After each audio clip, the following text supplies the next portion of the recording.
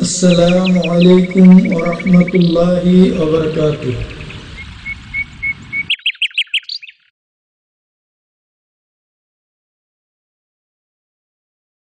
بسم الله الرحمن الرحيم পরম করুণাময় অসীম দয়ালু আল্লাহর নামে শুরু করছি ইসলামিক কালচারাল সেন্টার দাম্মাম মহান আল্লাহর আশিস রহমতে আল কোরআন এবং সহিদের আলোকে সঠিকভাবে ইসলাম ধর্ম শিক্ষা দেওয়া এক অনন্য প্রতিষ্ঠান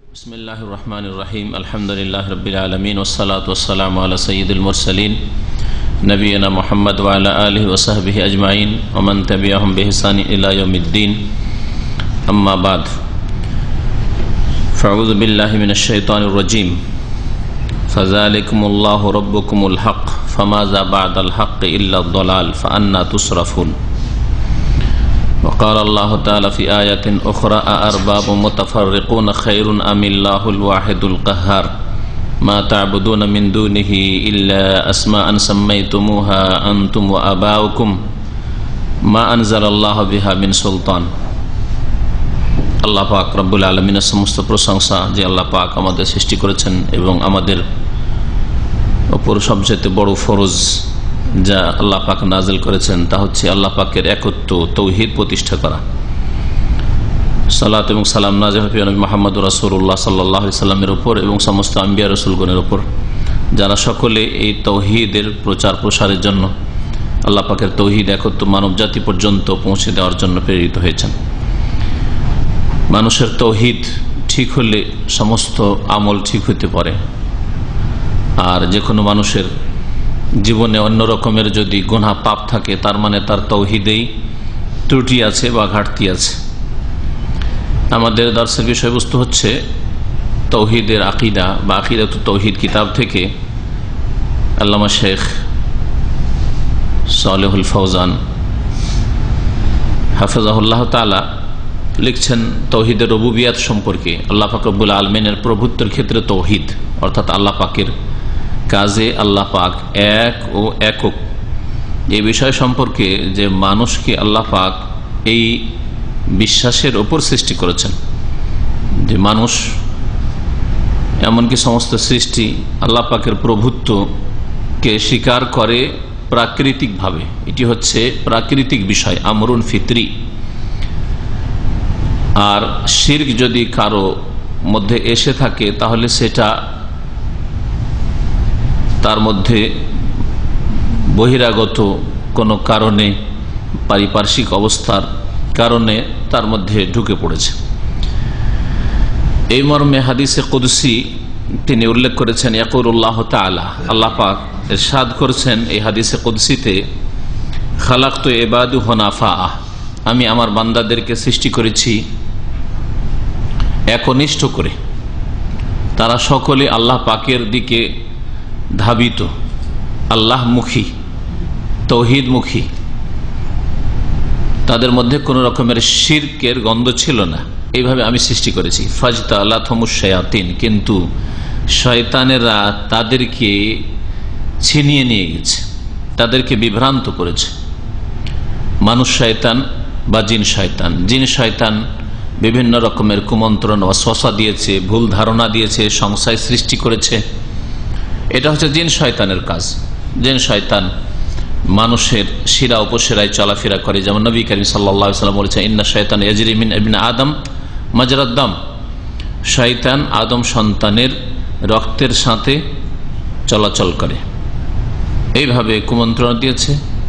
এগুলো হচ্ছে জিন শয়তান। এগুলি শয়তানের চালা যেগুলো জিনদের মধ্য থেকে। আর মানুষ শয়তান, আশেপাশে যেসব খারাপ লোক আছে, খারাপ আকিদার মানুষ শিরিক বিদাত যারা বিশ্বাস করে, তৌহিদ সম্পর্কে যাদের জ্ঞান নেই, তাদের মধ্যে বিভিন্ন সংশয়। এই জিন শয়তান সৃষ্টি করেছে বা অন্যান্য যারা বিভ্রান্তকারী, গুমরাহা নেতা, ধর্মীয় নেতা অথবা দুনিয়ার নেতা তারা সৃষ্টি করেছে, যার ফলে এইসব জিন শয়তান, মানুষ শয়তান তাদেরকে আল্লাহ পাকের তৌহিদ থেকে ফিরিয়ে নিয়ে গেছে, ছিন্ন ভিন্ন করে। ফাজতালাথুম শাহিদ, ইজতালাত মানে সারাফাথুম এলা এবাদতুল আসনাম। তাদেরকে আল্লাহ পাকের এবাদত থেকে প্রতিমা, পুতুল, কবর, মাজার, ব্যক্তি, গাছপালা ইত্যাদির পূজার দিকে ফিরিয়ে নিয়ে গেছে। অত্তে খাজে আর বাবা মিন্দুরিল্লাহ আর আল্লাহ ছাড়া ওই সবকে তারা অভিভাবক, রব হিসাবে গ্রহণ করেছে। কেউ আল্লাহ ছাড়া অন্যকে বিধানদাতা হিসাবে গ্রহণ করেছে, কেউ আল্লাহ ছাড়া অন্যকে মনের কামনা বাসনা পূরণকারী হিসাবে গ্রহণ করেছে, কেউ আল্লাহ আল্লাহ ছাড়া অন্যকে রোগের আরোগ্যদাতা হিসাবে গ্রহণ করেছে, বালা মুসিবত দূরকারী হিসাবে গ্রহণ করেছে, ইত্যাদি ইত্যাদি। ফওয়া কাউফি দলাল অদিয়া যার ফলে তারা গুমরাহিতে নিমজ্জিত হয়েছে এবং নিজেকে ধ্বংস করেছে। আর এই কারণে বিভিন্ন দল, উপদলে তারা বিভক্ত হয়েছে। তাদের মধ্যে বিচ্ছিন্নতা দেখা দিয়েছে তাফারুক এবং ইখতলাফ, মতবিরোধ। আর এই মতানৈক্যের ভিত্তিতে তাদের মধ্যে দলাদলি, কন্দল সৃষ্টি হয়েছে। যারা শির করে থাকে, তারা কত দলে বিভক্ত? এক এক এলাকায় কত রকমের শিরকারী জাতি? এক দল এক শির করে, আরেক দল আরেক রকমের শির করে। এক দল এক আকিদা রাখে, আরেক দল আরেক রকমের আকিদা রাখে। মুশ্রেকদের দলের শেষ নেই। পক্ষান্তরে সত্যিকার অর্থে যারা তৌহিদ বুঝে এবং রাসৌল্লাহামের সন্ন্যাদ বুঝে, আদর্শ হচ্ছে রাসৌল্লাহামের এবাদত বন্দী হচ্ছে আল্লাহ পাখের এই দুটি বিষয় যারা বুঝে, তারা সারা পৃথিবী যেখানেই থাক না কেন, একটি দল তারা। ইন্নাহাহি উম্মাত উম্মাত ওয়াহেদা। নিশ্চয়ই এই উম্মতটি হচ্ছে তোমাদের একই উম্মত। ও আনা রব্বকুম, আর আমি তোমাদের প্রতিপালক পালন করতাম ফাগুদুন আমার এবাদত করো। আল্লাহাক বলেছেন, কল্লুন রব্বান প্রত্যেকে প্রত্যেক দল এক একটি করে রব, অভিভাবক, পৃষ্ঠপোষক সাব্যস্ত করেছে ইয়াবধু গায়ের রব্বিল আখার যার তারা পুজো করে থাকে। অন্যদের আলাদা রব রয়েছে। অন্যরা আর কারও পূজা করে থাকে। যেমন উদাহরণস্বরূপ দেখুন যে একই দেশে, একই সমাজে বৌদ্ধ বৌদ্ধ ধর্ম অবলম্বীরা বৌদ্ধের পূজা করে। পাশাপাশি শিখেরা গুরু নানকের পূজা করে। গাইরুল্লাহর পূজা করে সকলে, কিন্তু দেখেন আলাদা আলাদা উপাস্য হিন্দু এক নাম হিন্দু, এরাও হিন্দু, ওরাও হিন্দু। পশ্চিম ভারতের হিন্দু বা দক্ষিণ ভারতের হিন্দু, অন্য দেবদেবীর পূজা করে। উত্তর ভারত, পূর্ব ভারতের হিন্দু, আলাদা দেবদেবীর পূজা করে।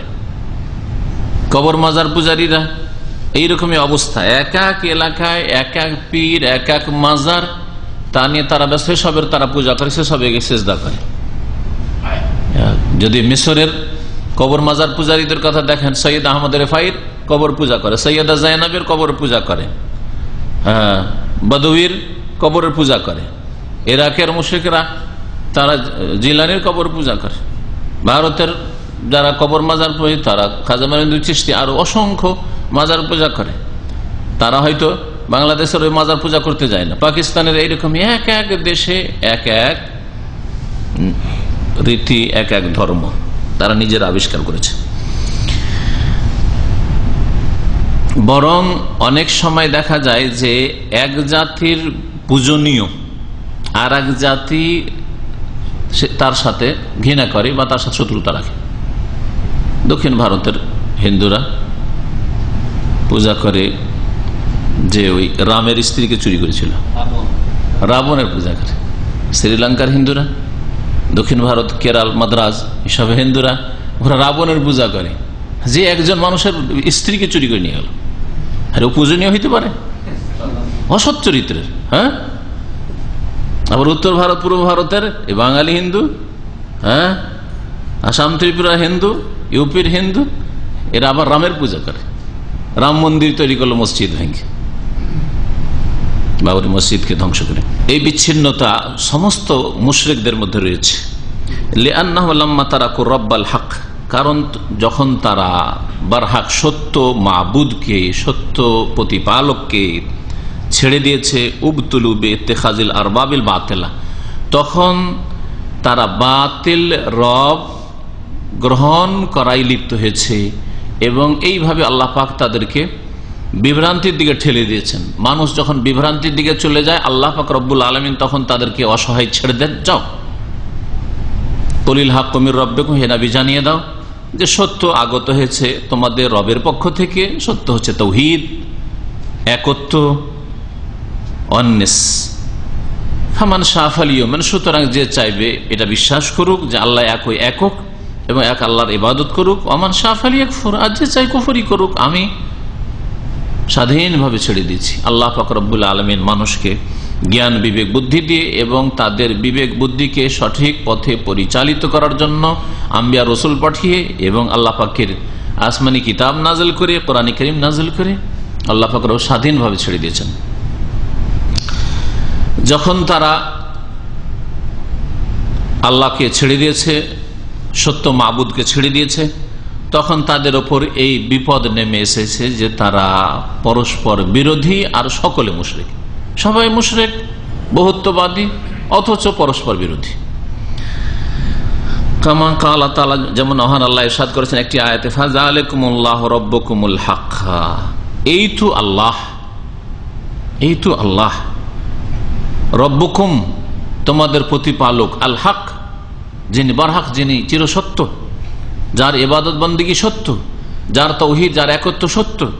ফামাজা বাদাল হক ইল্লা দলাল। এই হকের পরে, সত্যের পরে আর কি আর অন্য কোনো সত্য হইতে পারে? বরং হকের পরে, সত্যের পরে গুমরাহি ছাড়া আর কিছুই হতে পারে না। ফামাজা বাদাল হককে ইল্লা দলাল। হক সত্যের পরে অন্যদিকে ডানে বামে কোথাও খুঁজেন, সামনে পিছনে খুঁজেন, তার নাম হবে দলাল, গুমরাহি, ভ্রষ্টতা, তার নাম হবে বিভ্রান্তি, তার নাম হচ্ছে বাতিল।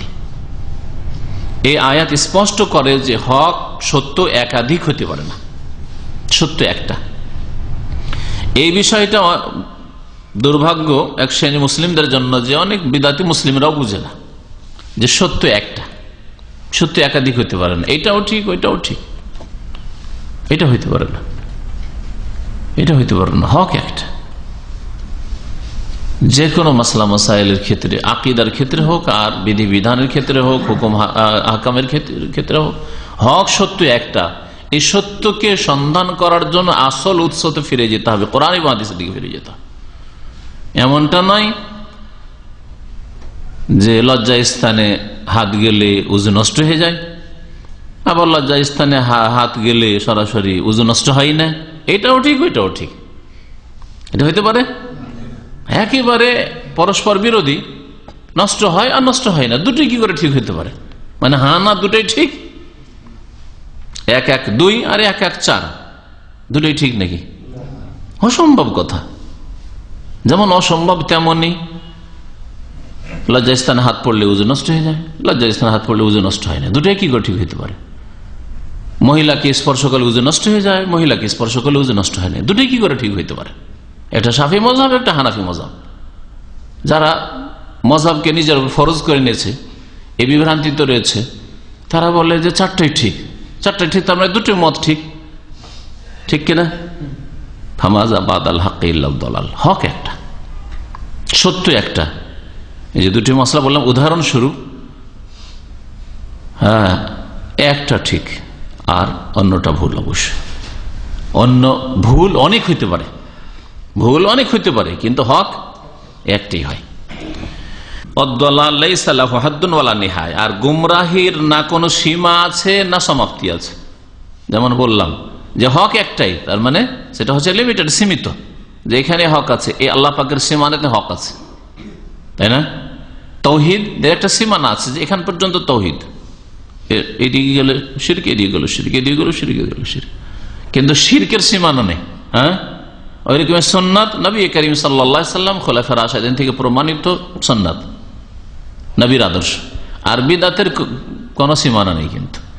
অদ্দলাল গুমরাহির সীমাও নেই, আর সমাপ্তিও নেই। ওহু আল্লাহ আজমুল্লিকুল্লিমান হক। আর এই গুমরাহি ওদেরকে ধরতে পারবে, গুমরাহিতে ওরাই লিপ্ত হবে, যারা তাদের বারহাক সত্য রব থেকে, রবের বিধান থেকে, রবের নাজলকৃত ওহি থেকে, কোরআন সন্না থেকে বিমুখ হবে। আপনি যখন কোরআন সন্না থেকে বিমুখ হয়ে যাবেন, মন গড়া ফতুয়া নেবেন, মন গড়া কথা বলবেন, তখন গুমরাহি আপনাকে গ্রাস করবে। কাল আল্লাহ তালা মহান আল্লাহ ইরশাদ করেছেন আর বাবু মোতাফার কোন খৈরুন আমি আল্লাহুল ওয়াহিদুল কাহার? আচ্ছা বলো তো, বহু উপাস্য, বহু রব, বহু পৃষ্ঠপোষক, ভালো নাকি এক আল্লাহ যিনি অপ্রতিরোধ্য? আল কাহার, যিনি সর্বজয়ী, তিনি শ্রেষ্ঠ। এক আল্লাহর কথা যদি বলি, এক আল্লাহ সব কিছুর মালিক। এই কথাটি ভালো। না বহু এইরকম খোদা রয়েছে হ্যাঁ এলাহ রয়েছে, যাদের হাতে এরকম ক্ষমতা রয়েছে। অনেকে সন্তান দিতে পারে, অনেকেই রোগ ভালো করতে পারে, অনেক উপাস্য আছে যারা মনের কামনা বাসনা পূরণ করতে পারে। অনেকের কাছে গেলে, অনেকের দরবারে গেলে পাওয়া যায়। নাকি একটি দরবার আছে, এক আল্লাহ পাক রব্বুল্লাহ একমাত্র দাতা। কোনটা কথা ভালো? এক আল্লাহ আর বাবু মোতাফার খেরুন আমিল্লাহুল ওয়াহিদুল কাহার মা তাবুদুনা মিন দুনি ইল্লা আসমাআন আল্লাহ বলছেন, তোমরা আল্লাহকে বাদ দিয়ে যেসবের পূজা করে থাকো সেগুলিতে কিছু নাম মাত্র। যে নামগুলি, সাম্মাইতুমহা আন্তুম আবাক তোমরা এবং তোমাদের পূর্বপুরুষ বাপদাদারা এসব নাম আবিষ্কার করেছ, নাম রেখেছ। হ্যাঁ? এ হচ্ছে দেবতা, এ হচ্ছে দেবতা, এ হচ্ছে দেবী, এ হচ্ছে ওলি, এর কাছে পাওয়া যায়, এর দরগায় পাওয়া যায়, এগুলো তোমরা আবিষ্কার করেছ। সাম্মাই তুমহ আন্তুম আবাকুম তোমরা এসব নাম রেখেছ। কে গৌসুল আজম, আর গরিব নওয়াজ, এ নামগুলো কে রেখেছে? হ্যাঁ? দস্তগীর হ্যাঁ? দাতা, এসব নাম কে রেখেছে? সাম্মাই তুমহ আন্তুম আবাকুম তোমরা নাম রেখেছো, তোমাদের বাপদাদারা এইসব নাম রেখেছে। মা আনজাল আল্লাহ বেহামিন সুলতান। এই নামগুলি আর এই উপাস্যদের কি আল্লাহ ফাকরমিন এই সব সম্পর্কে কোনো সনদ, কোনো দলিল, প্রমাণ নাজেল করেননি। এর কোনো দলিল নেই। মহান উদ্ধারকারী গৌসুল আজম জিলানি। কে নামটা রাখল? সাম্মাই তো মহান্তম। তোমরা এই নামগুলি আবিষ্কার করেছ। তোমাদের বাপদাদারি করেছ। সুলতান। আল্লাহর করেছেন? কোন আয়াতে, হাদিস দেখাতে পারবে? মহান উদ্ধারকারী গরিব মানে গরিবের দাতা। তোমরা তোমাদের বাপদাদার সব নাম আবিষ্কার করেছ। লক্ষ্মী দেবী, বিদ্যার দেবী। হ্যাঁ? কি বলছে? সরস্বতী দেবী, বিদ্যার দেবী, হিন্দুদের। আর লক্ষ্মী দেবী তাদের রুজি রেজিকের দেবী। আর এক শ্রেণির মূর্খ মুসলিমের বলে, আমার এই মেয়েটা লক্ষ্মী, আমার ছেলেটা লক্ষ্মী। এটা হিন্দুদের অনুকরণ না? কেন বলবেন আপনার ছেলে মেয়েকে লক্ষ্মী? সে কি কথা? আপনি নকল করছেন মুশ্রিকদের কথা। যে লক্ষ্মী দেবী রিজিক দেয়, ওরা বলছে, আপনি বলছে এই মেয়েটা যখন থেকে এসছে, আমার রিজিকে বরকত হয়েছে। মানে ওই লক্ষ্মী। লক্ষ্মী থেকে যেন রিজিকটা এসছে।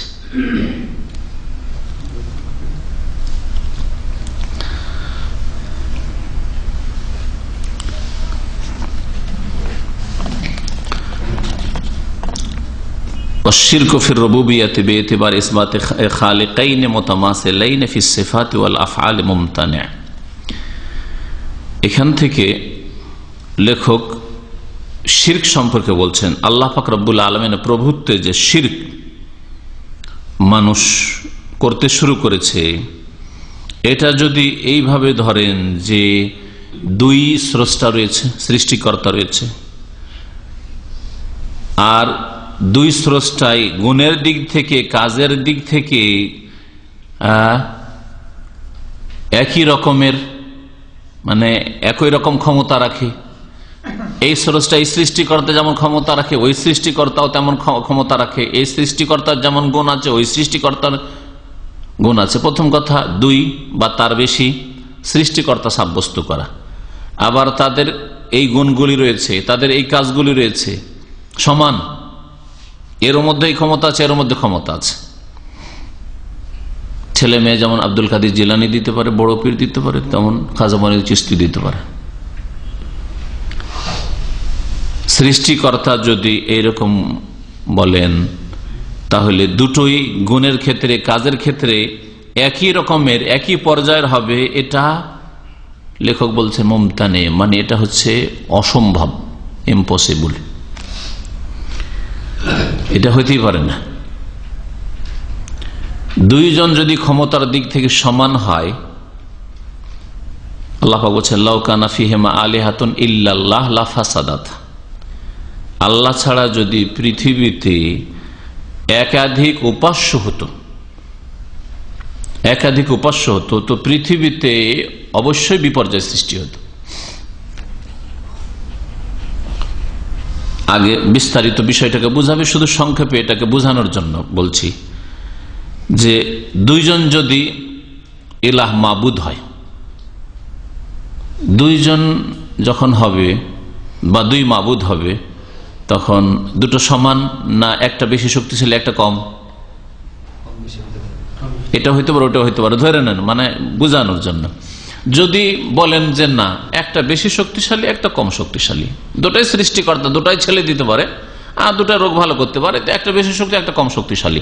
তাহলে যে কম শক্তিশালী সে কখনো উপাস্য হইতে পারে না, মাবুদ হইতে পারে কারণ সে শক্তিশালীর কাছে হার মানতে বাধ্য যখন দুর্বল, তাহলে। তাহলে যে দুর্বল অন্যের কাছে সে কখনো মাবুদ সে সৃষ্টিকর্তা হইতে পারে না। আর দুটোই যদি সমপরিমাণ শক্তিশালী হয়, তাহলে পৃথিবী একই রকম ভাবে চলে আসছে। এতকাল ধরে মানব জাতির ইতিহাসে, দুনিয়ার উত্থান পতনের অনেক ইতিহাসে লেখা হয়েছে, আসমান, জমিন আর সূর্য, চন্দ্র, নক্ষত্রের উত্থান পতনের কোন ইতিহাসে লেখা হয়নি। বিশ্বযুদ্ধ, প্রথম বিশ্বযুদ্ধ, দ্বিতীয় বিশ্বযুদ্ধ, আরও কত আগের যুদ্ধ। হ্যাঁ হিন্দুদের যেসব যুদ্ধ হয়েছে, কুরুক্ষেত্র আর কত কিসের যুদ্ধ? হ্যাঁ হিন্দু আর ওই বৌদ্ধদের যুদ্ধ। হ্যাঁ? বহু যুদ্ধ। পশ্চিমা দেশে রোমানদের যুদ্ধ আর পারস্য যুদ্ধ। যেসব যুদ্ধের কথা সুরা রোমে, কত যুদ্ধ হয়েছে, তাই না? এবং যুদ্ধে উত্থান পতন হয়েছে। একদল ক্ষতিগ্রস্ত হয়েছে বা ধ্বংস হয়েছে আর একদল বিজয় লাভ করেছে। তো পৃথিবীতে যদি দুই এলা হইতো, আর দুটোই সমান শক্তির, ভাগ করে, যেমন বর্ডার ভাগ হয়ে আছে আজকাল অনেকগুলি দেশ আর অনেকগুলি দেশের মালিক, শাসক রয়েছে, রাষ্ট্র অধীনা করেছে সেই জন্য প্রত্যেক দেশের বর্ডার আছে আর আলাদা আলাদা ক্ষমতা আছে।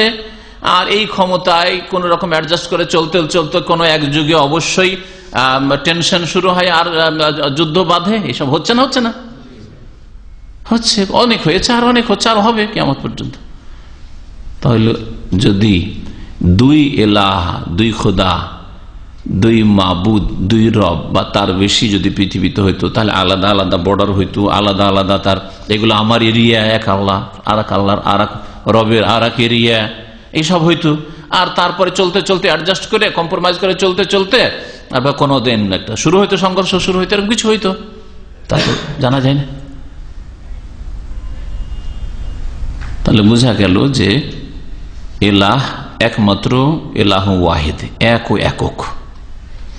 আল্লাহর কোন শরিক নেই। তিনি আল্লাহ।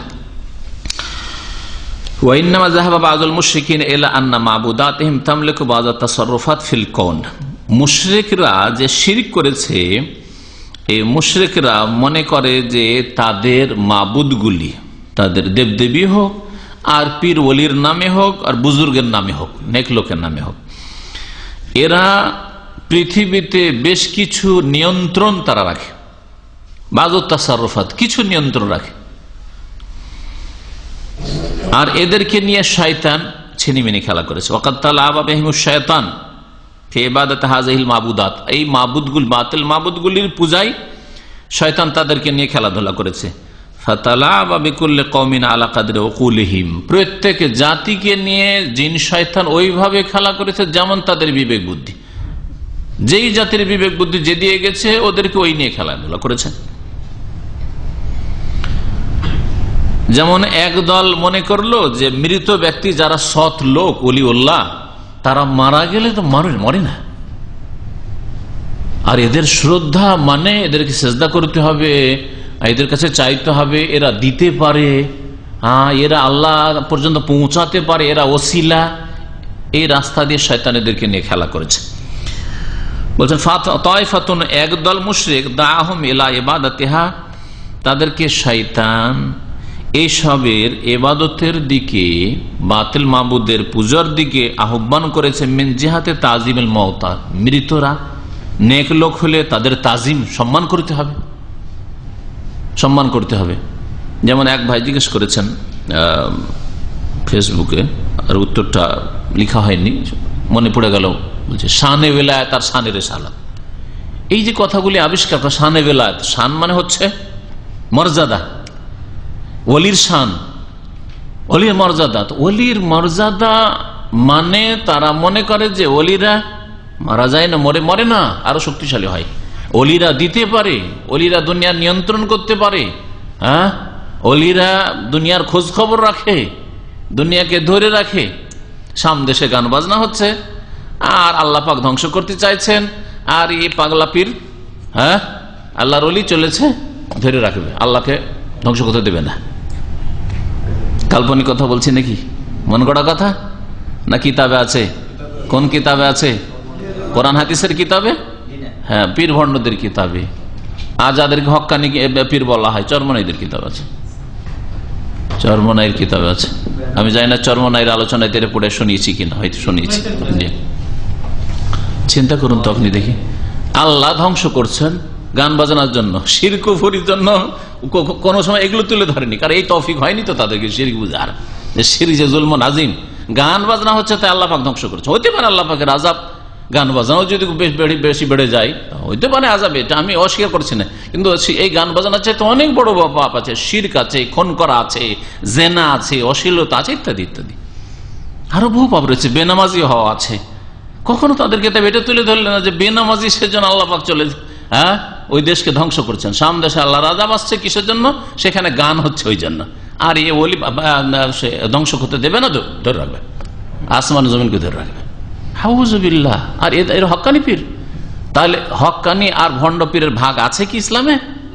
আসলে নেই। চিন্তা করুন তো দেখি। ফামাজাবাদ আল হক ইল্লাল হকের পরে কোরআন এবং হাদিসের পরে বাইরে যা আছে তাই হচ্ছে?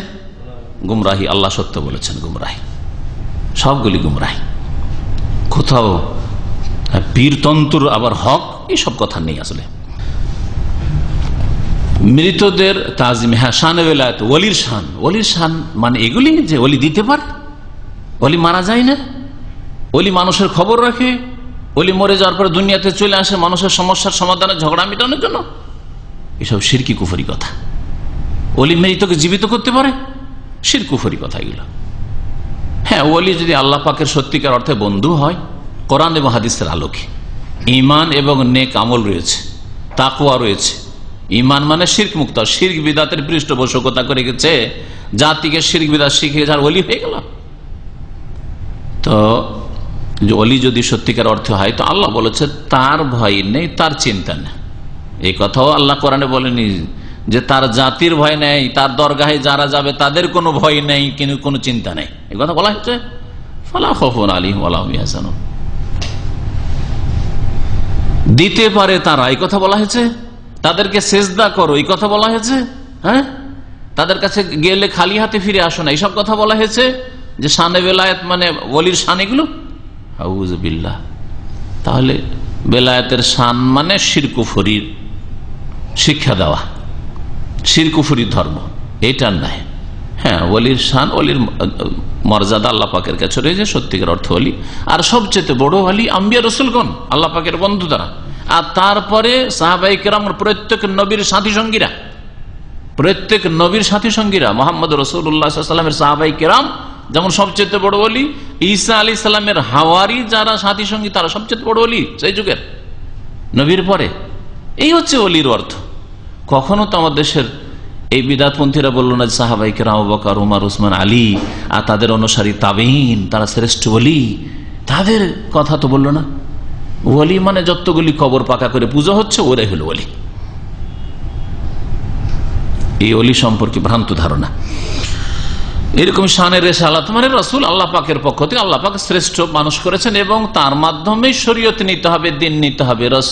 শানের রেসালাত মানে এই নয় যে রসুলকে বলবে আলিমুল গাইব রসুল হাজির নাজির, সব জায়গায় হাজির নাজির হয়ে যান, রসুল চলে এসছেন, সুতরাং তোমরা কিয়াম করো, দাঁড়িয়ে যাও ইয়ানবী সালাম আলিক শুরু করো। আর রসুল উদ্ধার করতে পারেন, রসুল যাকে ইচ্ছা দেন। না রসুল্লাহ হায়াতুল নবী মারাই যাননি, রসুল নূরের তৈরি, মাটির তৈরি না। এসব নেই সব সিরকি কথা। সানের সালাত মানে এগুলো নাই। আল্লাহ পাক রব্বুল আলমিন প্রত্যেকের মর্যাদা নির্ধারিত করেছেন। প্রত্যেকের আল্লাহ পাক রব্বুল স্থান নির্ধারিত করেছেন। তার ওপরে নিয়ে গেলে শির কুফরিতে লিপ্ত হবে আর নিচে নামিয়ে দিলে বেআবি মানহানি করে কুফরির আশঙ্কা আছে। আল্লাহ পাক যেখানে যাকে রেখেছেন সেখানে তাকে রাখতে হবে।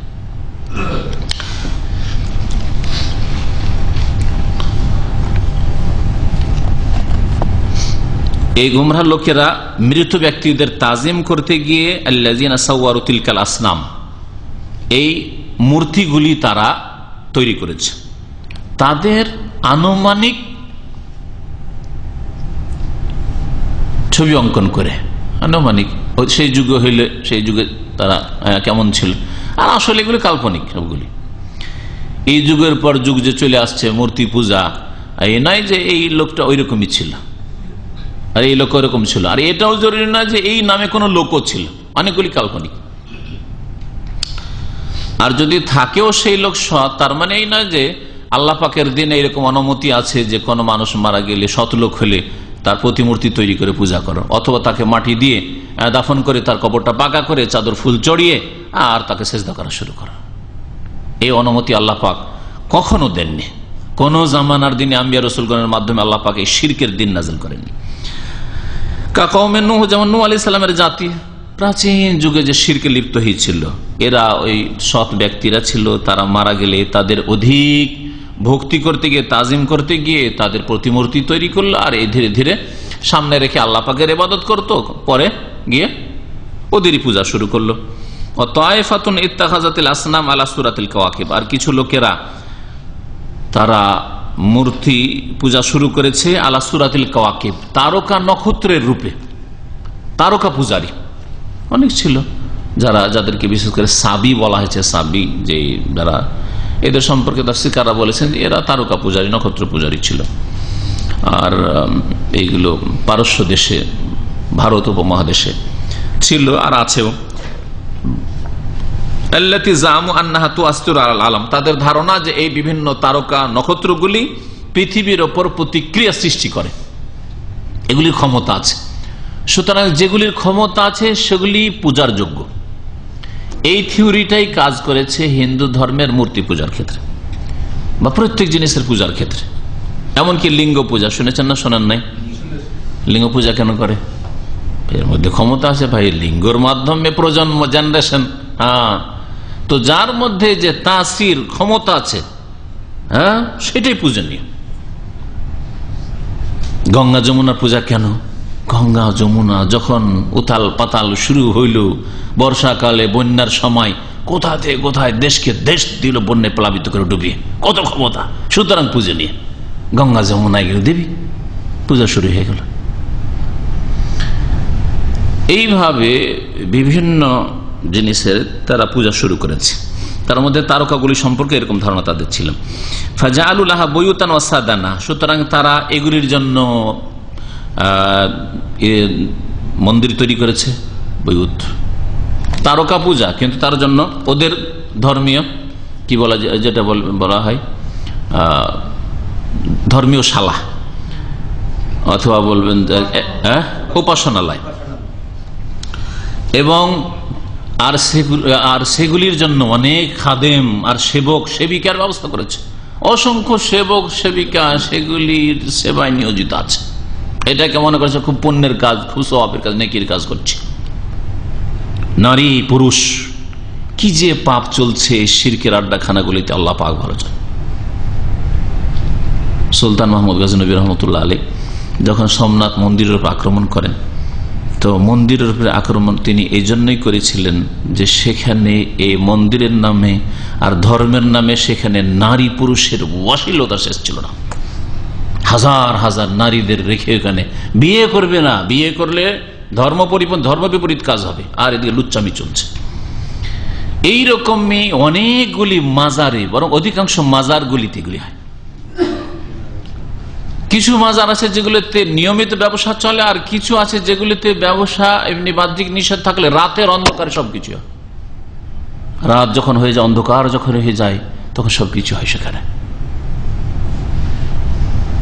আর এই রকম শুনতে আছেন শুনতে আছেন যে অনেক পীরেরা পর্যন্ত, ভণ্ডরা আর যারা ওইসব মাজার নিয়ে বসে আছে, তারা এসব জেনা ব্যবিচারে লিপ্ত রয়েছে।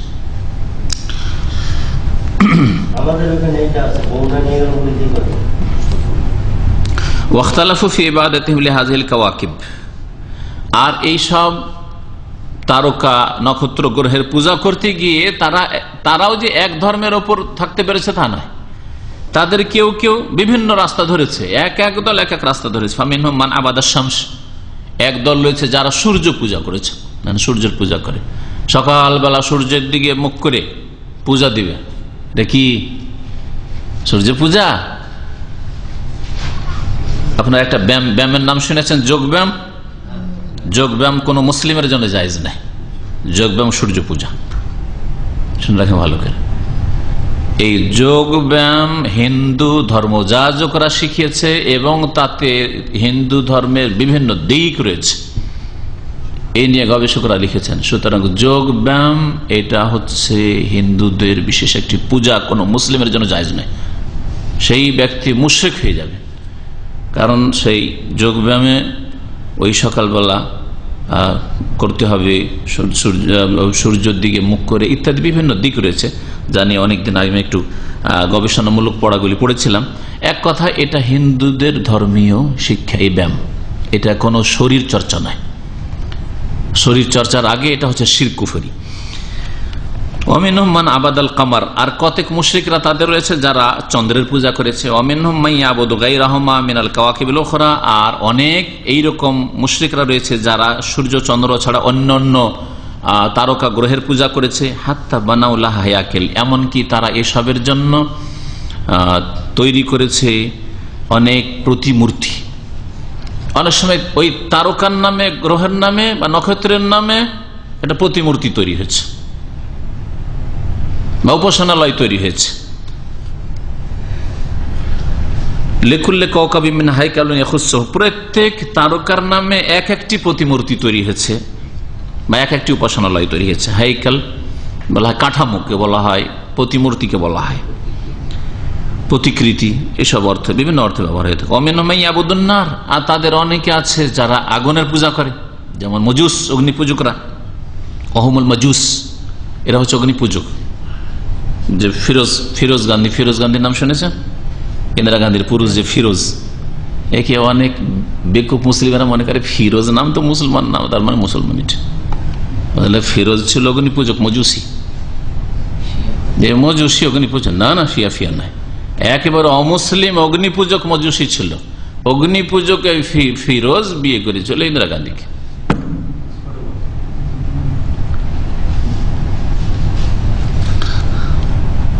কিন্তু আমাদের দেশের মুসলিমরা নাম যদি শুনে নেই তারেক আজিজ খ্রিস্টান সাদ্দামের প্রধানমন্ত্রী তাকে এখন পর্যন্ত আমাদের ভারত উপমহাদেশ, ভারত, বাংলাদেশ, পাকিস্তানের অধিকাংশ মুসলিম মনে করে যে মুসলমান? আর যার হাতে পতন হয়েছে এই ইরাকের আর সাদ্দামের পতন হয়েছে। অগ্নি পূজকরা আগুনের পূজা করে। অমিন আবুদুল বাকার আর কেউ কেউ গরু গাভীর পূজা করে। হ্যাঁ, গরু গাভী তো ক্ষমতা আছে কি ক্ষমতা দেখেন না। দুনিয়ার সবচেয়ে ভালো পানীয় ভালো খাবার এই গরুতে গাভীতে দিতে পারে দুধ। হ্যাঁ দুধ পান করো কিন্তু যেহেতু গোমাতায় হচ্ছে হ্যাঁ, দেবী সেই জন্য তার গোস্ত খাওয়া যাবে না। চামড়া দিয়ে জুতা বানাও কিন্তু গোস্ত খাওয়া যাবে না। তাহলে মা গোমাতা মায়ের গোস্ত খাওয়া যাবে না। দুধটা খেলে খেলে ঠিক আছে মায়ের নাই দুধ খেলে। তারপর তো মা তো দেবী তো দেবীর দুধ কি করে খায়? চলো। আবার চামড়া দিয়ে বেয়াদুবি করে চামড়া দিয়ে আবার জুতো কেমন করে বানাও? হ্যাঁ। এটাও নিষিদ্ধ হওয়া উচিত ছিল। যেমন গরু জবাই নিষিদ্ধ, তেমন গরুর চামড়া ব্যবহার করাও নিষিদ্ধ কারণ মায়ের চামড়া? মরে যাক মরে যাক, দাফন করে দাও, কিন্তু আবার মরে গেলে চামারের ওই হিন্দু চামাররা চামড়া খালিয়ে নিয়ে এসে আবার চামড়া দিয়ে জুতো স্যান্ডেল বানাচ্ছে। লেখক বলছে কামা ফিলহীন যেমন ভারতের সভ্যতা অমিনমাই আবুদুল মালাইকা আর অনেক মুশ্রিকরা পৃথিবীতে আছে যারা ফেরেস্তাদের পূজা করে। যেন আরব মুশ্রিকরা ফেরেস্তাদের পূজা করত। অমেনমাই আবুদুল আসজার আর অনেক মুশরেক রয়েছে যারা গাছের পূজা করে, ওয়াল আহজার, আর পাথরের পূজা করে। অমেন আবুদুল কবুর। আর অনেক মুশরেকরা আছে যারা কবরের পূজা করে, ওয়াল আদরে, আর মাজারের পূজা করে। দারিহুন মানেও কবর, আর কবর মানে কবর। কবুর কবরের জামা, আর দারিহুনের জামা হচ্ছে আদরেহা। কবর, মাজারের পূজা করে। পূজা কি পূজা? কিন্তু আজকাল মুসলিমদেরকে মানাইতে পারা যায় না। হ্যাঁ হিন্দু শিরিক করছে। ও ওকে বিধর্মী বলবে, আর নিজে খুব ধার্মিক কবর মাজার পূজা করে। অথচ সমান অপরাধ। বরং তোমার অপরাধ বেশি, কারণ ওরা তো কোরআনের উপরে বিশ্বাসী হয়, করেনি। আর তোমরা কোরআনে বিশ্বাস করেছ, কোরআন পড়ো, না আমলও করো, না চর্চা করো, না ঘরে ঘরে কোরআন আর শিরিক করছ। ওরা বলে না যে কোরআনে মূর্তি পূজা করতে বলা হয়েছে, গরুর পূজা করতে বলা হয়েছে। কিন্তু তোমরা তো বলছো যে কোরআনে বলেছে, হাদিসে বলা হয়েছে, নবী শিখাইতে এসেছিলেন কবর মাজার পূজা। তাহলে তোমরা বেশি অপরাধী, তাই না? বেশি অপরাধী তোমরা, মারাত্মক অপরাধী। নবীর নামে, আল্লাহর নামে মিথ্যা কথা, আল্লাহ শিরকের দিন নাজিল ওকুল্ল হাজা বেসাবাব আন্না হাওলা তাসাউর হাজাইল আশিয়া সেই আমিন খাসা ইসের এই আল্লাহ ছাড়া অন্যের পূজা কেন শুরু হইল? এর সূত্রপাত কেন হইল? বলছে যে এইসব এই জন্য শুরু হয়েছে যে এই মুশ্রেক লোকেরা এই জিনিসগুলিতে বা এই বস্তুগুলিতে যেগুলিকে পুজো করেছে, এগুলিতে রবের প্রতিপালকের কিছু না কিছু বৈশিষ্ট্য তারা সাব্যস্ত করেছে। যে হ্যাঁ সূর্যের মধ্যে প্রভুত্বের বৈশিষ্ট্য আছে। চন্দ্রের মধ্যে প্রভুত্বের বৈশিষ্ট্য আছে ফেরেস্তার মধ্যে হ্যাঁ, রবের হ্যাঁ, প্রতিপালকের বৈশিষ্ট্য আছে খোদাই ক্ষমতা আছে। কবর মাজারে অলির মধ্যে খোদাই ক্ষমতা আছে। এইসব বৈশিষ্ট্য সাব্যস্ত করেছে আল্লাহ পাকের এসব সৃষ্টিতে যার ফলে এগুলির পূজা করেছে। আল্লাহ যেমন আল্লাহ পাক রব্বুল্লাহ রোগ ভালো করেন আল্লাহ পাক রব্বুল মনের আশা পূরণ করেন আল্লাহ পাক পৃথিবীর নিয়ন্ত্রণ করেন আল্লাহ পাক রব্বুল আলমিন অদৃশ্য দৃশ্য সবকিছু জানেন আল্লাহ পাক রব্বুল আলমিন ছেলে মেয়ে দান করেন, যাকে ইচ্ছা যাকে ইচ্ছা, আল্লাহ একরকম দানও যাকে ইচ্ছা, কিছুই দেন না, সবকিছু আল্লাহ পাকের হাতে। কবর মাজার পূজারা মনে করল যে না, জিলানি, চিস্তি অলি আউলিয়া ফির মাসাহেক তারাও দিতে পারে। তো রবের খুশুসিয়াত রবের বৈশিষ্ট্য এদের মধ্যে যখন তারা এই ভ্রান্ত বিশ্বাসে বিশ্বাসী হলো, তখন এগুলির পূজা শুরু করল। এইভাবে গেরুল্লাহর পূজা শুরু হয়েছে। ফামেন ফামিনহু মাইয়াজউমু আন্না হাযিহিল আসনাম তুমাসসিলু আশিয়া এই মুশরিকদের একদল ধারণা করে যে এই যে মূর্তিগুলি রয়েছে, এগুলি হচ্ছে যে অদৃশ্য বা অনুপস্থিত যে বস্তু বা ব্যক্তি রয়েছে, সেগুলির, এগুলো প্রতীক। সেগুলির প্রতীক এগুলি। যারা এসব দেব দেবীর পূজা করে, আগে অথবা এখন। ধরেন নোয়াল ইসলামের যুগে সোয়া, এগুলির পূজা হইতো। আসলে কি মাটির পূজা, পাথরের পূজা হইতো? না, ওর পিছনে? এটা কিসের প্রতীক? ওই যে এক নেক ব্যক্তি ছিল, ওয়াদ, ওই নেক ব্যক্তি ছিল সোয়া, ওরা যে মারা গেছে, ওর পূজা। কিন্তু ও যেহেতু নেই, গায়েব এখন, দুনিয়া থেকে চলে গেছে হ্যাঁ? ওর প্রতিমূর্তি তৈরি করে পূজা হচ্ছে, এর প্রতীক। এইভাবে পূজা শুরু হয়েছে। এইভাবে যে কোনো মূর্তি হোক, যে কোনো কবর, আস্থানা হোক, একটা আস্থানা আছে। ঢেলাপীর, তেনাপীর শুনেছেন এগুলো? এগুলি এগুলি হচ্ছে প্রতীক। এগুলো যে পূজা হচ্ছে, এগুলি প্রতীক। এর পিছনে কোনো কিছু আছে যেগুলি পূজা হচ্ছে। আর সবগুলির পূজা আল্লাহ ছাড়া অন্যের পূজাকে আল্লাহ পাক বলেছেন যে এরা শয়তানের পূজা করে। শয়তান, ইব্রাহিম খলিলুল্লাহ বলছেন, হে আব্বাহ, শয়তানের পূজা করিয়েন না। আজর কি শয়তানের পূজা করতো? মূর্তি পূজা করতো, আল্লাহ ছাড়া অন্যের পূজা করতো। তার আল্লাহ ছাড়া অন্যের এবাদত বন্ধ অন্যকে সেজদা করা, অন্যের কাছে দোয়া করা, অন্যের কাছে চাওয়া, অন্যের কাছে রোগের আরোগ্য তলব করা হচ্ছে। শয়তানের পূজা করা, কারণ শয়তান এই শিক্ষা দিয়েছে, শিরকের শিক্ষা। কাইম বলছেন ওয়াদ উসানাম ইন্নামা কানা ফি আস, ফিল আসলি আলা শাকলে গায়েব। এই যে মূর্তির কাঠামোটা মূর্তি যে তৈরি হয়েছে, প্রতিমা পুতুল তৈরি হয়েছে। এটা আসলে অনুপস্থিত উপাস্য রূপে তৈরি করা হয়েছে। উপাস্য অনুপস্থিত জিলানি অনুপস্থিত কিন্তু কবরের রাখা আছে। কেল্লাশাহ না কল্লাশার মাজার শুনেছেন? কোথা হ্যাঁ? কেল্লাশাহ বলে না কল্লাশাহ বলে? আসলে কল্লা শব্দটি, কল্লা মানে এটা। তো এই সম্পর্কে আমাদের এখানে একটি ইউনুস আছে ব্রাহ্মণবাড়িয়ার আমার দার্স আসে, ও ও বিস্তারিত শোনে। আপনারা জানেন হয়তো অনেকে কোন পীর নাকি ছিল, তো ও কেমন করে মারা গেছিল, তো এক জায়গায় কল্লা গেছে, দাফন হয়েছে, আর এক জায়গায় ধর গেছে মানে বডি গেছে। তো ওই যে কল্লা মাথাটুকু ওই যেখানে ছিল, ওইটা হচ্ছে কল্লাসার মাজার ও থাক আর না থাক, ওই ওই ব্যক্তির কল্লার নামে পূজা হচ্ছে। বুঝতে পেরেছেন? তো অনুপস্থিত একটা কোন বস্তু বা কোন এটা প্রতীক হিসাবে পূজা হচ্ছে। এটা প্রতীক। ফজালুসানমা আলা শাকলি ওয়াহিয়াতি হসুরাতিহি তারা মূর্তিকে ওই রূপ দিল বা ওই গঠন দিল, ওই সুরত দিল। লিয়াকুনা না এবান মানাবহ, যাতে করে ওর স্থলাভিষিক্ত হইতে পারে। যেটা আসল পূজা করতে চাইছে ওটা তো নেই, কিন্তু ওর স্থলাভিষিক্ত যাতে হইতে পারে। বা কায়মাম্মাকা ওর জায়গায় সেটা হতে পারে। ওয়া মালুম আন্না হাজারান আর না হইলে এটা সর্বজন বিদিত। সবাই জানে যে কোনো জ্ঞানী মানুষ সেটাকে মেনে নেবে না যে একটা কাঠ লকড়ি বা খড়কুটা দিয়ে, মাটি দিয়ে, একটা প্রতিমা পুতুল তৈরি হলো বা পাথর দিয়ে, একটা প্রতিমা পুতুল তৈরি হলো, আর তারপরে মনে করবে যে এটা হচ্ছে এলাহ। এটা হচ্ছে মাবুদ, এটা মাবুদ না, কিন্তু মাবুদ গায়ে অনুপস্থিত, তার প্রতীক হচ্ছে এই যে যেটা কাঠের একটা তৈরি করলাম বা মাটির তৈরি করলাম বা পাথরের তৈরি করলাম, এটা। এইভাবে তারা আল্লাহ ছাড়া অন্যের পূজায় লিপ্ত হয়েছে। কামা আন্না ওব্বাদ আল কবুর কাদিমান ও হাদিসান, এইরকমই কবর পূজারীরা প্রাচীন যুগেও আর বর্তমানেও, কাদিমান, তাহলে বোঝা গেল যে কবর পূজার ইতিহাস খুব প্রাচীন। আগের যুগে ইয়াহুদ্দিন আসারাদের যুগেও কবর মাজার পূজা ছিল, কাদিমান, প্রাচীন যুগে। হাদিসান মুসলিম সমাজে কবর মাজার পূজা, এটা হচ্ছে এই নবযুগে মানে ইসলাম আসার পরেও কবর মাজার পূজা থেকে গেল, আবার ফিরে চলে আসলো। কিছুদিন কবর মাজার পূজা উৎখাত হইলেও নবী করিম সাল্লাহ সাল্লামের পরে সাহাবাই কেরাম খোলা তারপরে তাবা তাবেন তাবেন এসব যুগ পরে আবার এই মুসলিম জাতীয় এক শ্রেণির কবর মাজার পূজায় লিপ্ত হয়েছে। ইয়াজ অমনা তাদের ধারণা, আন্না হাউলাইল আমওয়াত, এই মৃত লোকের ইয়াস ফাউন আল্লাহম এটা তাদের সুপারিশ করবে। আব্দুল কাদির জিলানি। কেন তাকে সেজদা করি? কেন তাকে গৌসুল আজম বলি? কেন তার কাছে আশা রাখি যে তিনি আল্লাহর কাছে আমাদের জন্য সুপারিশ করবেন, ওসিলা হবেন? আর আল্লাহর নিকট তাদের ওয়াস্তা হবেন। ওয়াস্তাটা আরও এখানে থেকে বুঝেন। ওয়াস্তা মানে সোর্স হ্যাঁ?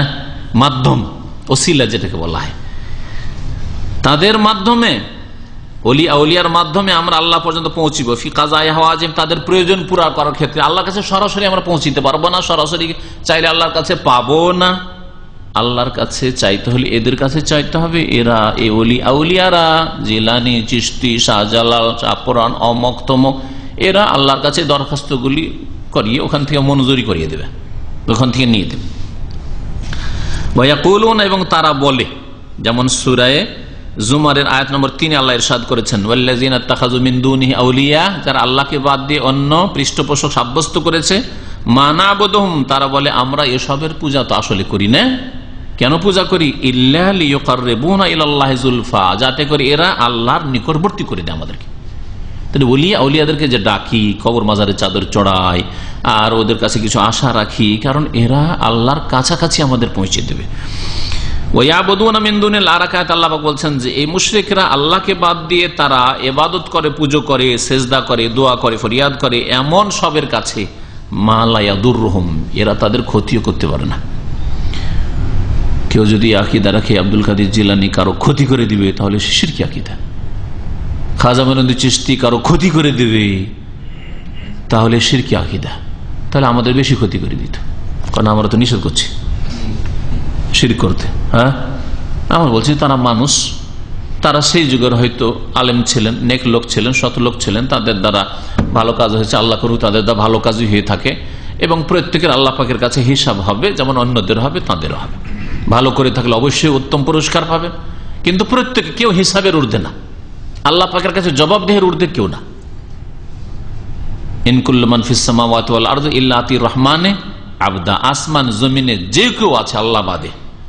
তারা সকলে আল্লাহ পাকের সামনে হাজির হবে। কি হয়ে? আবদান বান্দা হয়ে, গোলাম হয়ে, দাস হয়ে আল্লাহ পাক বোন হাজির হবে। সবাই আল্লাহ পাকের বান্দায় হাজির হবে।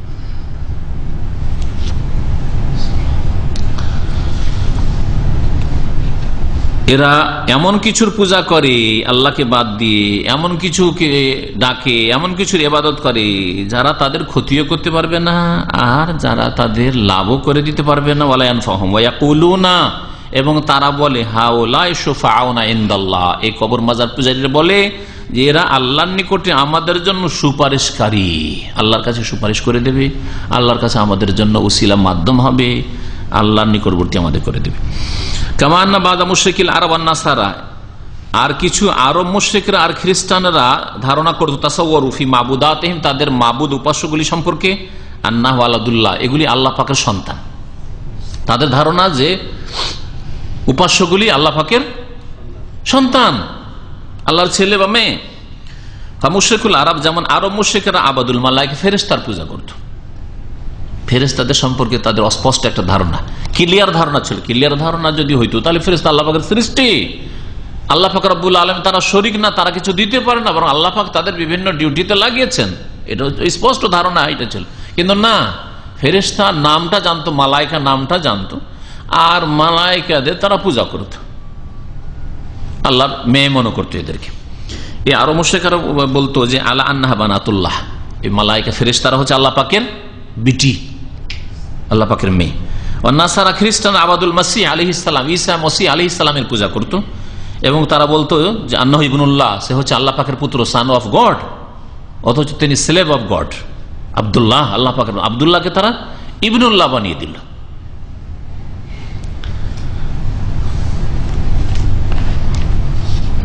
সময় যথেষ্ট হয়ে গেছে সেই জন্য এখানে ছেড়ে দিচ্ছি, কারণ কথা আবার লম্বা হয়ে যাবে। আল্লাহ ফাকরবুল আলম যেন আমাদেরকে তৌহিদ বুঝার তৌফিক দান করেন এবং তৌহিদ প্রতিষ্ঠা করা আল্লাহ পাক সুন্দরভাবে তৌফিক দান করেন। শিরকে জানার এবং শির থেকে সতর্ক থাকার তৌফিক দান করেন। আল্লাহ পাক রব্বুল আলম শিরকের ফিতনা থেকে আল্লাহ পাক আমাদেরকে আর সকল মুসলিমকে আল্লাহ পাক যেন বাঁচিয়ে রাখেন।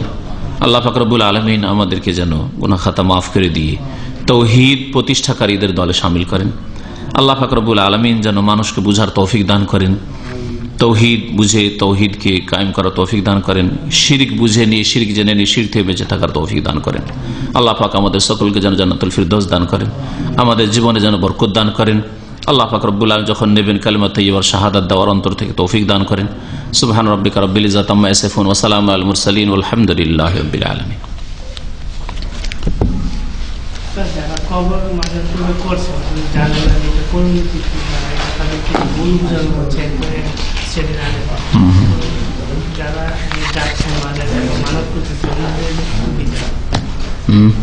এদের বিধান?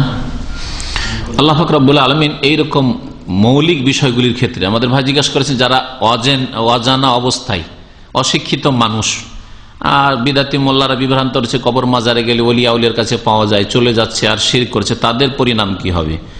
মনে রাখবেন যে আল্লাহ পাক রব্বুল আলম তৌহিদের ক্ষেত্রে স্পষ্ট যেগুলি ক্লিয়ার বিষয় যেগুলি মানুষ নিজের বিবেক দিয়ে অনেকটা উপলব্ধি করতে পারে। তারপরে কোরআন এবং হাদিস আল্লাহ নাজল করেছেন এবং এটা শিখা ফরজ ছিল। তা যদি সামান্য শিখতো, তাহলে এই অন্ধকারে থেকে গুমরাহিতে নিমজ্জিত হইতো না। যার ফলে আল্লাহ শির করে মানুষ যাবে আর তাদেরকে মাজুর মনে করবেন, এই অজুহাত কবুল করবেন, তোমরা জানতে না, মাফ করে দেন, এটা হবে না। কিছু খুঁটিনাটি বিষয় আছে, সূক্ষ্ম বিষয়, সেগুলি হয়তো মানুষ বুঝতে পারে না, আর জানার মতো এরকম ক্ষেত্র পেল না। সেই ক্ষেত্রে মাফ হবে, কিন্তু আজকের পৃথিবীতে দুনিয়ার সব কিছু জানতে পারল। ডাক্তার ভালো হয়, মন্দ হয় জানতে পারল, কিন্তু আলেম ভালো হয়, মন্দ হয় জানতে পারল না। হ্যাঁ? এটা জানা তৌফিক হলো না? কোন ডাক্তারের কাছে যেতে হবে? শরীরের চিকিৎসার জন্য এটা জানতে পারল, কিন্তু রুহের চিকিৎসার জন্য ইমান আমল সুন্দর করার জন্য কোন আলেম ডাক্তারের কাছে যেতে হবে? এটা জানা তৌফিক হলো না? আল্লাহকে বিবেক সম্পর্কে জিজ্ঞেস করবে না? যে তোমার বাপ অসুস্থ হয়েছিল। হ্যাঁ বাংলাদেশের চিকিৎসা নেই। কোথায় যেতে হবে? অমুক জায়গায় যেতে হবে। এটা জানার সুযোগ হয়েছে কোথায় কি আছে, না আছে? বিদেশেরও খবর রাখতে কোথায় কোনটার চিকিৎসা ভালো হয়? আর ধর্মের ক্ষেত্রে, দিনের ক্ষেত্রে, আল্লাহ জানতাম না, আমাদের গ্রামের হুজুর বলতো, আমরা মানতাম মেনে নেবেন আল্লাহ ফাকরবুল আলমিন। আল্লাহ বলবেন না যে তোমার গ্রামের এই মোল্লা যে কোয়াক ডাক্তার কোয়াক ডাক্তার কাছে কেন গেলে তুমি? ফুটপাতিয়া ডাক্তার কাছে কেন গেলে? কোরআন, হাদিস ডাক্তারের কাছে খুঁজে পাওনি? ছেড়ে দেবেন? না, তৌহিদের ক্ষেত্রে, শির্কের ক্ষেত্রে, স্পষ্ট বিষয়ের ক্ষেত্রে, নামাজ, নামাজের গুরুত্ব বুঝেনি। আর বলবেন আল্লাহ, আমি জানতাম না যে নামাজের এত গুরুত্ব। আল্লাহ মাফ করে দেবেন? কখনো না। হ্যাঁ কিছু খুঁটিনাটি সূক্ষ্ম বিষয়গুলি আছে যেগুলো জানতে পারল না। আর জানার মতো এরকম হয়তো ভালো ওস্তাদ পেল না। ভালো বা যে গাইড করবে এরকম কোনো লোক পেল না সেই ক্ষেত্রে মাফ হইতে পারে। জি।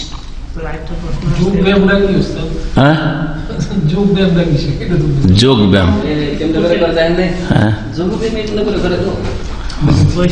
না ওর বেশ কিছু নিয়ম কানুন আছে ও লম্বা শুধু একটি দুটি না।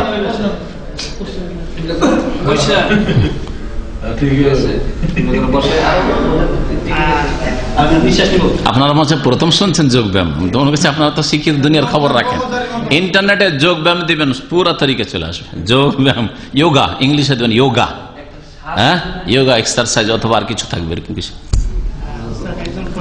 ওয়াই দিয়ে? ইংরেজিতে যোগা বলে। আলহামদুলিল্লাহ যারা ইন্টারনেট ব্যবহার করে তাদেরকে বলছি যে যদি দেখতে হয়। হ্যাঁ প্রতারণা আছে কিন্তু আপনি দিনের জিনিসটা জানলেন আপনি যেটা। শির্ক। হ্যাঁ। হ্যাঁ হ্যাঁ তা ঠিক অবশ্য। অনেক শিক্ষিত হুম হুম ঠিক। আল্লাহ হেফাজত করে যারা মেডিটেশন করছে কি করেছে? মেডিটেশন এই যে ধ্যান করছে হ্যাঁ যে বাতি কীরকম বুঝলাম না কোনগুলো? লাইটেড অফ করে বসে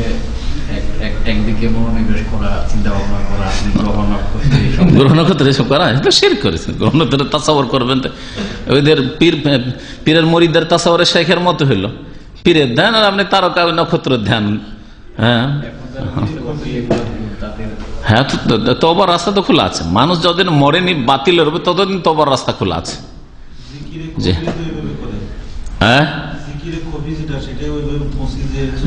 হ্যাঁ ছয় লতিফার জিকির এগুলো কোথা থেকে নেওয়া হয়েছে? এগুলো এই লোক থেকে ছয় লতিফার জিকির জিখে নাফসি হ্যাঁ এইসব থেকে আলো? ওই সব সংমিশ্রণ সব কিছুর জগা খিচড়ি জি।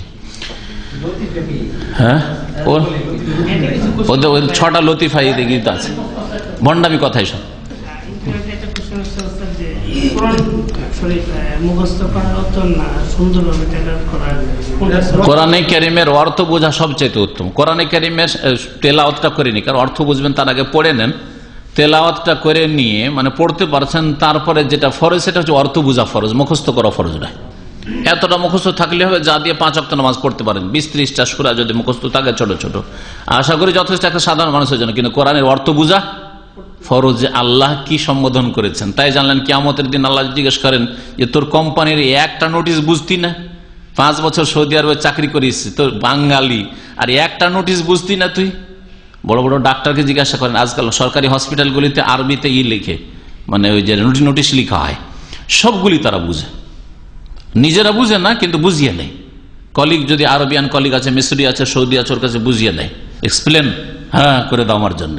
এটা বুঝে কিন্তু কোরআনে কিনি বুঝলো না ডাক্তার ইঞ্জিনিয়ার। কেমন জবাব দিতে হবে না। স্যার, আরেকজন প্রশ্ন হচ্ছে আহ, কাছের আত্মীয় যদি পীরের বাড়ি হয় সেখানে কি আত্মীয় সম্পর্কের কারণে যাওয়া যাবে কি? কীরকম পীরের বাড়ি হয়? পীরের বাড়িতে আত্মীয় আর কি। পীরের বাড়িতে আত্মীয় আত্মীয়তা যাইজই নাই আত্মীয়তা করা। হ্যাঁ। অনুষ্ঠানে দাওয়াত দিয়েছে আর কি। হ্যাঁ হ্যাঁ। পারবে ওখানে গিয়ে আগুনের কাছে গেলে আগুনে জলার আশঙ্কা আছে। আর ওই পীরের বাড়িতে গিয়ে নিজের দাওয়াত হয়তো পেশ করতে পারবে না। যদি নিজের দাওয়াত পেশ করতে না পারে তাহলে সেখানে যাওয়া যায় নাই। হ্যাঁ যদি আশা থাকে যে আমার প্রভাব আছে আর সেখানে গিয়ে আমি আমার দাওয়াত পেশ করতে পারব তাহলে তার জন্য যাওয়া উচিত। সে যাবে যাতে করে এই জাহান নামের রাস্তায় যারা চলে গেছে, তাদেরকে কোনো রকম উদ্ধার করার জন্য একটু চেষ্টা চেষ্টা করতে পারে। দাওয়াতের কাজ এক কথা করতে পারে। আর তাদের হিতাকাঙ্ক্ষী হয়। কিন্তু বন্ধুত্ব বজায় রাখার জন্য আর আত্মীয়তাকে ঠিক রাখার জন্য বিদাতিদের সাথে সম্পর্ক রাখবে, এটা কখনো যায়জ না।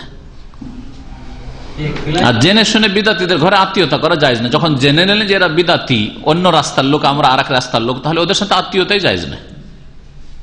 পয়সার জন্য টাকার জন্য চার চাকরি আছে বিদেশে থাকে তাই রিলেশন করে মেয়ে দিয়ে দিলেন বোন দিয়ে দিলেন এটা যাইজই নয়। একটা প্রশ্ন হচ্ছে হঠাৎ কাপড়ের প্রস্রাব লেগে গেলে কাপড় কাপড় পরিবর্তন করার সুযোগ না থাকলে কি? ওই জায়গাটুকু ধুবেন। যদি কাপড়ে না পাকির লাগে কাপড় পরিবর্তন করা তো জরুরি না ওই জায়গাটুকু ধোয়া জরুরি। জায়গাটুকু ধুলেই হলে। কাপড় পরিবর্তন করতে পারেন করেন আর না হলে আল্লাহ যেটা ফরজ করেছেন, সেটা হচ্ছে না পাকি দূর করো। আর যতটা জায়গায় না পাকি লেগে আছে, অপবিত্রতা লেগে আছে, ততটা আপনাকে ধুইতে হবে যে। তাও যদি সম্ভব না হয়, পানির ব্যবস্থা নেই, আর নামাজের টাইম চলে যাচ্ছে, তাহলে নামাজ ওই কাপড়েই পড়তে হবে। নামাজ মাফ নেই, বা নামাজ বিলম্ব নেই। ওয়াক্ত পার করা যাবে না নামাজে।